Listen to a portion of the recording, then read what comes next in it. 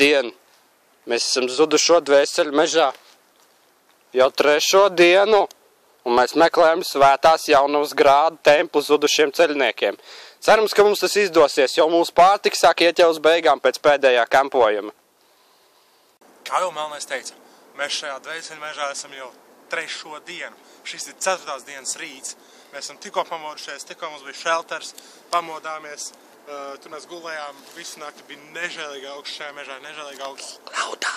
Jā, un, uh, un, un, un, un saule tikko spīd, tikko pacēlusies virs apvāršņa. Un, un, un, un mēs nezinām, kur iet, jo vienkārši mēs jau trešo dienu maldamies šajā mežā un mēs meklējam kādas zīmes par šo svēto tēmu, ko mēs meklējam. Tātad um, varbūt iesim vienkārši, iesim kaut kur, jo mēs redzam, visu laiku ir šādas zīmes.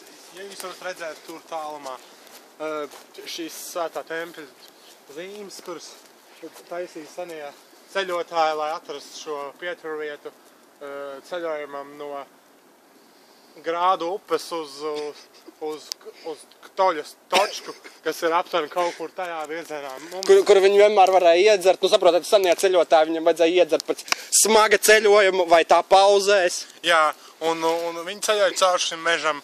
Un, un tas bija pirms 20 tūkstoši gadiem, tā kā mēs nezinām, tā, kas visas ir pazudušas un, un no, no terēna, un, un mēs neredzam, kur mums jāiet. Mums var, mūsu kompas arī ir salūzis.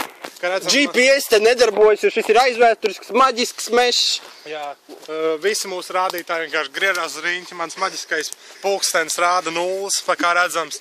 Uh, es nezinu, Varbūt mums nospīdēs mātes, ka ļaus dievību. jā. Ejam Uz, uzmanīgi un tagad būs uh, še- šajā dvēseli mežā mēdz būt kaut kādi monstri un tādi brāņi. Mēs, mēs jau otrajā un trešajā dienā sastāvam vairākus Orkus, goblinus. cilvēku, cilvēku veidīgus būtnes, kas gaidīja apkārt. Un Ar briesmīgiem elas suņiem. Jā.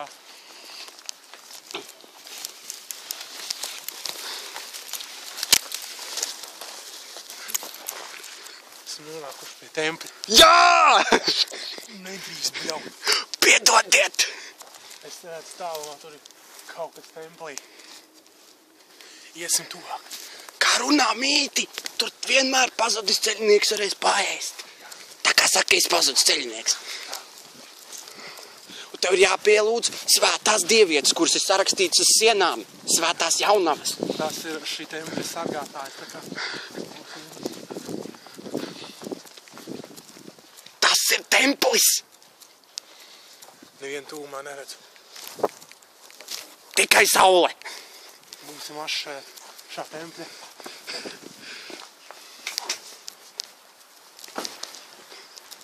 Šie svētie raksti. Jā! Un svētā zupa. Tātad. Ak, Dievs. Svētie raksti.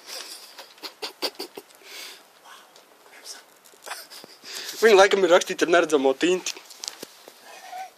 Šis papīrs ir laik 20 tūkstoši gadus vecs. Jā. Noslēpumi un pieraksti no senajiem dzērājiem. Senais grāda templis. Damn, son. Paskaties uz sienu! Te ir pierakstīta viena no dievietēm. Jā, Svētā Žanete. Žanet. Varbūt iesim tālāk skatīties. Jā. Svētā Kika. Wow. Wow, svētās jaunums. Damn, nice. Mums tur bija nice. Viņš noteikti nevienam nebija sievas. Uh, uh, Viņa 90. tas saka, bija domāts netradicionāls orientācijas ceļotājiem. Tieši tā. Vo? Sa- Seniem cilvēkiem bija dīvaini vārdi. Viņi sevi sauc par vo. Un, kas tas tāds? Senie, senais rokraksts. Senie Šā- raksti, rūnas. Šādas runas es neesmu redzējis jau 20 tūkstoši gadus. Jā, es arī. Paga, sam. Nē, kas tur ir? Tas- Gravējums alsīnā. Diemžēl viņi nevar safilmēt, jo man traucē saule. Saule aizsargā savu templi. Jā, viņi sa... Ejam tālāk, tēms. Jā, iet tālāk. Jūtu temperatūru, nežēlīgi krītās. Mēs salstam vienkārši. Šī, šī, šī, šī tempļa apkārtnē ir dzirdēts daudz dažādas baumas par cilvēkiem, kas sasalas ledus gabalos un, un viņi nevar pakustēties. Un pēc tam viņus ievieto pudelēs. Un pēc tam viņi iedafulēs. Iespējams, tā ir viena no tām pudelēm. Vēlreiz. Pie svētajiem rakstiem. Šie. Tad, wow, nemaz nepamanīju. Zem, šeit apakšā ir svētā 5 minūšu zupiņa. Edzi, Es jums teicu, svētā zupa. svētā zupiņa. Nu, bišķi, bišķi sacietējis, bet Varēs uzēst. varēs uzēt. Tas mums obligāti jāsaglabā. ir. Jā, provīzijas. Ew, a šits nevarētu būt sasaldētais cilvēks, mazliet tikai atkusis.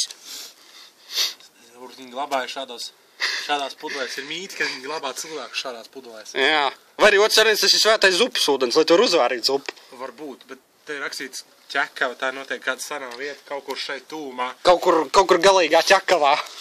Galīgā ķekavā, kaut kur pie ķekava savota, ir baumas, ka viņš ir kaut kur šeit redzēts. Viņš tā kā šis maģiskais mešs, viņš kaut kur visu laiku Pulst un maina vietas. maina vietas, tā kā mēs ne... Un šeit mums ir um, senā grāda, Grādi. panie grādi. Varbūt paņemam līdzi. Jā, drošības labad. Klāt, atķersim nekādu. Es ceru, ka ne, un es domāju, ka šis varētu būt senais spridzeklis. Senais spriedzeklis. Uzmanīgi. Pastīsimies, nu, viņš, vai, vai Tak. viņš sprādzien bīstams. Uztaisīs tūlīt savu researchiņu.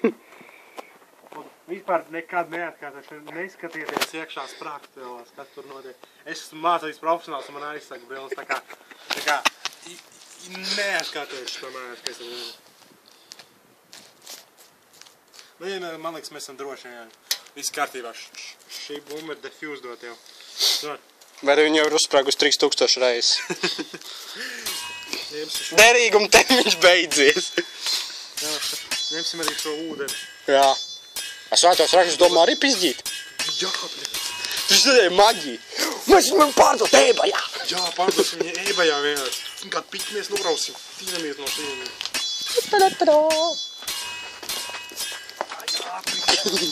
Rā, Tur ir sarksts!